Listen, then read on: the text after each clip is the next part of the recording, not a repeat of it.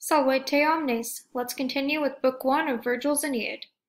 Illi indignantes magno cum murmure montis circum claustra fremunt, celsa sedet Aeolus arce, sceptra tenens mollitque animus et temperat iras, ne ni faciat Maria ac terras caelumque profundum quippe ferant rapidi secum verrantque per auras. These indignant ones, referring to the winds, so these indignant ones, with a great murmur of the mountain, here note the M, M, M, magno cum murmure montis.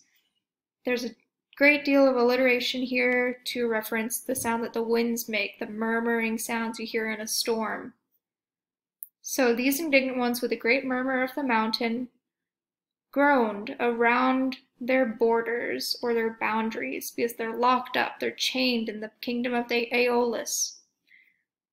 Aeolus sits in his lofty citadel, holding his scepters, and he calms their spirits and he tempers their angers. Here notice we have A, B, A, B, synchysis, verb, direct object, verb, direct object ni faciat, unless he were, or if he were not doing so, if he would not do this, surely the rapid winds would carry the oceans and the lands and heaven pouring itself out with itself, and they would swiftly, or they would sweep through the breezes. They would sweep through the breezes. So here's talking about a conditional, what the winds would do if they were free of Aeolus' power. They would cause chaos, they would turn the land and sea upside down basically, and the sky, heaven would come pouring down from above if the winds had free reign and Aeolus weren't restraining them.